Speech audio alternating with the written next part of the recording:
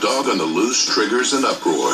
I saw his pit bull running. I grabbed my dog's collar. The dog latched onto the underbelly and hind quarter of my dog. How's the dog? He's still a little sketchy. Judge Judy. Next on WBZ Channel 4.